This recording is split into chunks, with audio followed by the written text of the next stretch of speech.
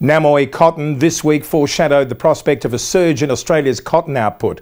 The seed to marketing operator said that Australia looked set to produce 4 million bales of cotton this season, a 48% rise year on year. The improved prospects for the crop, which Namoi said was now 50% planted, reflected rains in eastern Australia that have boosted prospects for cotton.